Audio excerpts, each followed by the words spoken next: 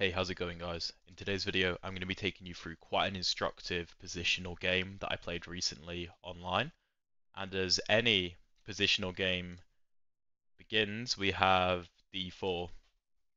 And this game, it's it's not necessarily the most exciting, but I think it's really instructive, like the way that certain squares are vital to control and there's some very interesting knight maneuvers later on in the game.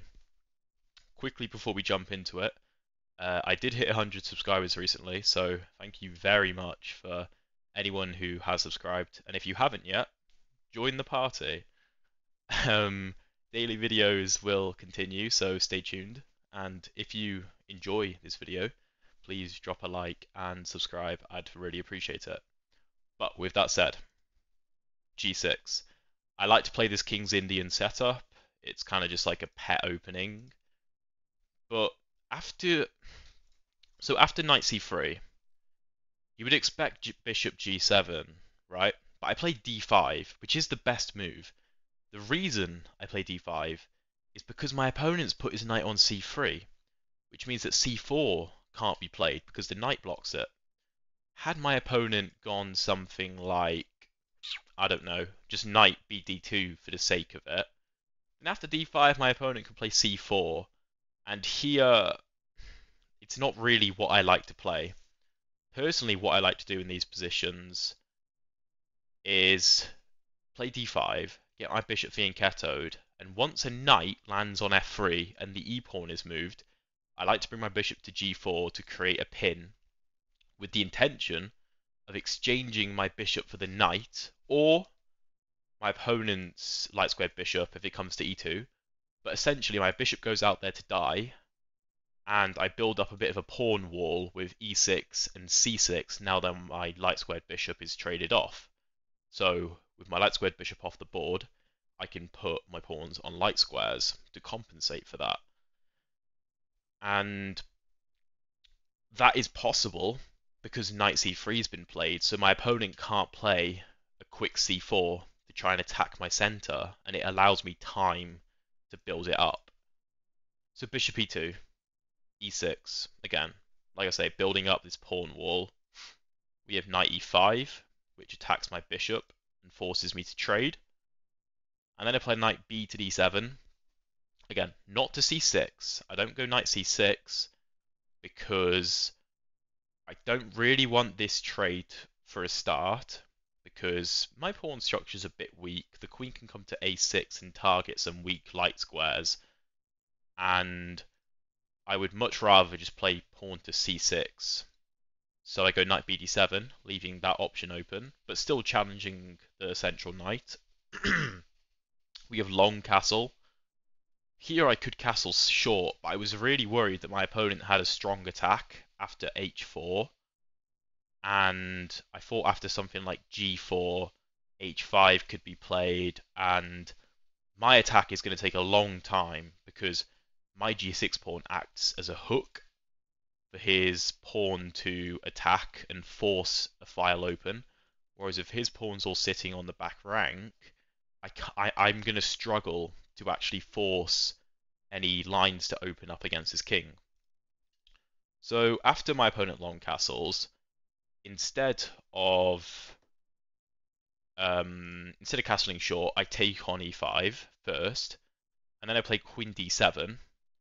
The reason I exchange first is because I want to free the d7 square up so that I can castle queenside. So you might say, why don't you just go queen e7 then? I'm sure that's a fine move, but my logic is that with queen d7, I don't allow the queen to come out to b5 or the knight to come out to b5, which I was worried about. Um, well, the knight can still come to b5, but I feel less threatened because my queen actually controls the light squares. So my opponent goes g4, which is a nice move because he threatens g5 to force my knight to move, and then he gets to trade dark squared bishops. And with all my pawns on light squares, arguably, that's very weakening for my pawns to be on light squares with the dark squared bishops off the board, because then my dark squares will be weak. I castle queenside regardless. my opponent goes h4.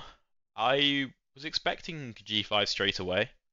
I was going to go knight h5, trade the bishops, and I thought that my control of the light squares is good enough um, because I can undermine this pawn with h6 and break out on the king side, and my king is very safe. But he goes as h4, and I assumed his intention was to play h5. So I went knight to e8 immediately to trade the bishops, and then after h5, which is what he played, at some point I wanted to take and then free up the f5 square for the knight. That was the intention. But I first play c6 because it takes away the b5 square completely from my opponent's pieces, supports the d5 pawn further, and it opens up the opportunity to play e5 at some point now that the d5 pawn has more cover. Not yet, but it opens up the possibility. f4, I was very happy to see, because it just further weakens his light squares. Like, the e3 pawn is now a backwards pawn, and it might struggle to go to e4.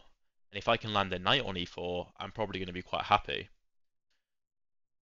I go king b8, which wasn't a great move it was unnecessary. I should have gone for the previous plan of putting the knight on f5, especially now this pawn had advanced to f4, for two reasons. Firstly, e3 is no longer defended by a pawn, so the queen is tied down to the defense of the pawn because the knight's attacking it. And secondly, now the pawn has gone to f4, it can't go to f3 to support an e4 push that would kick the knight out. Now if the pawn ever comes to e4, it's going to be taken, and then a piece will have to take back, be it the knight or the queen, and this knight will remain unassailable on f5. But king b8, queen h2, trying to just get the queen on this long diagonal, and I take on h5. Now f5 check is a possibility, but I was just going to play queen c7 and go, look bro, queen trade, because if he takes, f6 seems to be the move, and then after 98 g5 to support the f6 pawn.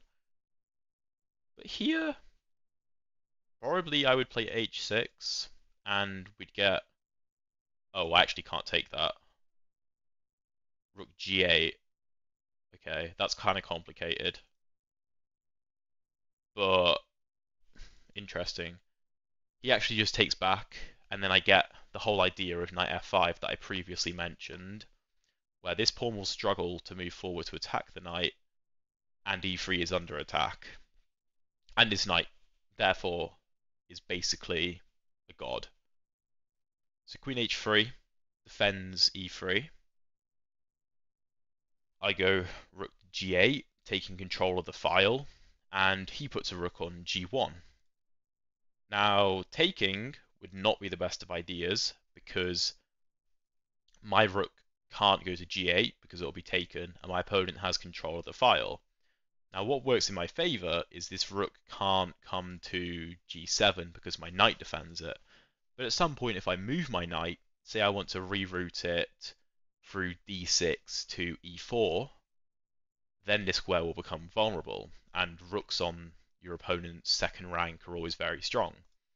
So I just go queen e7, which looks like a cryptic move, but consider the fact that my pawns are on light squares, so my queen on a dark square can access the holes in my position and therefore has more room to maneuver. And I'm setting up ideas of bringing the queen to h4 to trade the queens, because I feel like I've got a better endgame here, because my opponent has this weak backward pawn on e3 which again will struggle to advance, and even if it does, will leave the f4 pawn very weak because it will be isolated once I trade. So rook d to f1. I've got to be honest, I didn't really understand this move. Maybe the idea was to play e4 and have a defender of f4 ready. I don't know. But I played queen h4 and we trade queens.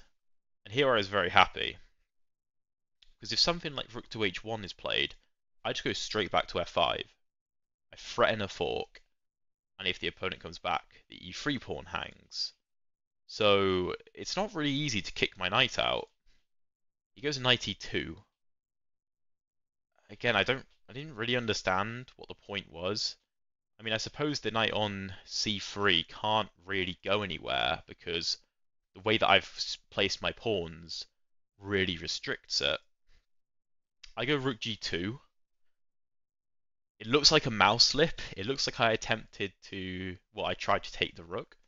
But the point is, after the exchange, my knight now attacks e3. So the rook can't attack because I can go to e3. The computer says that after rook g7, white is fine. But it's not easy because my knight is still really strong and defends h6 and attacks d4 and stops the forward movement of this pawn. This pawn is weak. It's a tough position. He instead goes king d2 to defend the pawn. And I go knight to h4. Why knight h4? So firstly, it gives me a way out because my knight can get trapped potentially.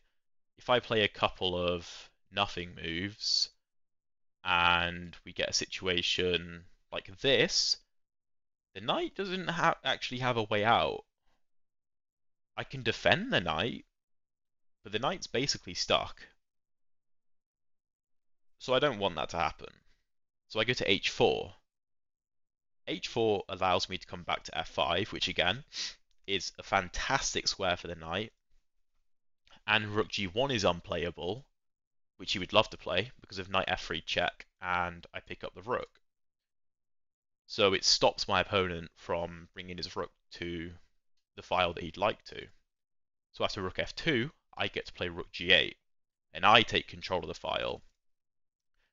This didn't work previously because if I immediately play rook to g8. Computer gives f5, and white is breaking apart my pawn structure. So with knight h4, f5 is unplayable because I take it. So rook f2, rook g8, take control of the file, knight c1, and we see the point of white's maneuver now.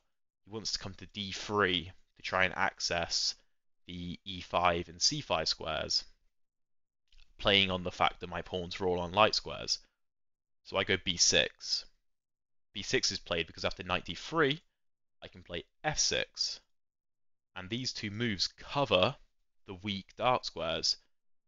The opponent can bring his knight to b4, but then I can play king b7 and cover my opponent's entry points, and his knight struggles to get into the game. And again, the rook can't attack my knight, because there's a fork. it's not easy for my opponent to deal with this position, even though the computer only gives me minus 0.6. My opponent plays king e2, which defends the f3 square, keeps an eye on e3, and potentially allows rook h2. I play rook to g3, with the intention of just keeping an eye on this e3 pawn. So if a move like rook to h2 is played, knight f5, and this e3 pawn is going to die because he can't defend it. So I'm trying to suffocate my opponent. My domination of the g file gives my rook much better mobility than his rook, and I want to make sure my opponent's rook can't access the g file so that I can kind of prod around in his position force him to make potentially weakening weakening moves, and restrict, you know, his rook, like I said, from the g file, and his knight is restricted from entering my position. He's forced to play defense. So king e2, rook g3, knight e1. My opponent defends well. He, he wants to play knight to f3, because if I play a lazy move, then knight f3, if all this gets traded, White's probably a little bit better practically, just because his king's a bit more active than mine. So knight e1 is a good move. I play king c7, and after knight to f3, I was just going to play knight to f5. Again, the f6 pawn cuts off my opponent's attempt to enter my position. He still can't challenge for the g file. His king can't go to f1 to try and lend support to that, to the g2 square, because e3 hangs. So he goes c3 instead, just overprotecting d4, which is a strange move, and it allows rook to h3. And the h5 pawn is going to be under attack. The reason I do it in that move order, so my plan is rook to h3, knight to f5, rook takes h5. The reason I do that and not knight to f5 first is because of rook to f3. And my rook now can't access the h3 square because the rook defends it. So if I do it in this move order, the rook can't come to f3 because then the knight takes it. And it also can't go to g2 because the knight defends that square. It's really important to try and restrict your opponent's pieces like this. And I was really happy with this game because of that. So knight to f3 tries to exchange the knights. I could exchange the knights here and win a pawn, but being one pawn up in a rook versus rook endgame, it's not it's it's it's not easy to convert. With the knights on the board, especially with the quality of my knight compared to his knight, I feel like I've got more winning chances because again, his knight can't do anything. So rook h2 now I exchange the rooks and play knight g3 check, winning the pawn this way. And it's much easier to convert uh, a pawn up knight versus knight than rook versus rook. Because of some... Basically, it's because there's so many other pawns on the board. And again, this knight can't get into the game. Whereas his rook would have been able to infiltrate through the G file in the previous variation, where the knights get traded. So king g4 attacks the knight, knight g7, and all these squares are protected by either my knight or my pawns to disallow his king forward movement. If the knight goes to f3, which it does, it again has no forward movement king d6, knight h4. Again, g6 is defended, and f5 is defended, so the knight can't go forward. His king also can't go forward. So king e7. I'm up a pawn, so I would like to push it. So I try to get my king closer. b3, a5, a3, c5.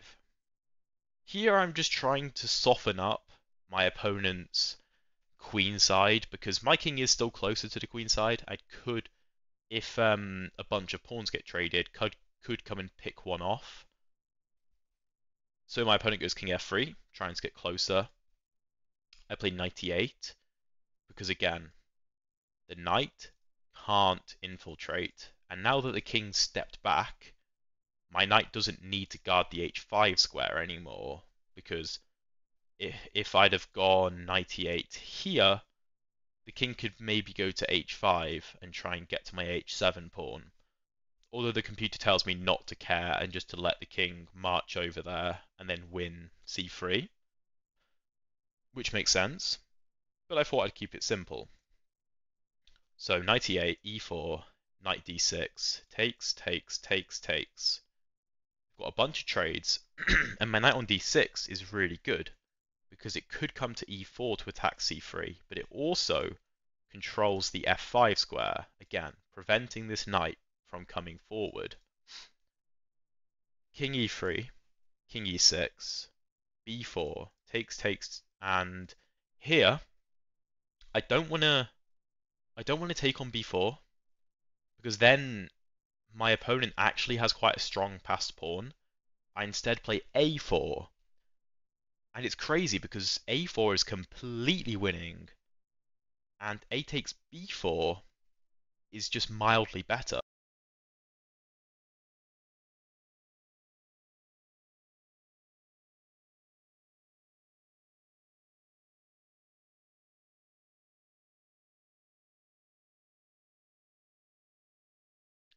So instead, I play a4 a4 is a great move because my knight controls the b5 square, meaning his pawn can't advance.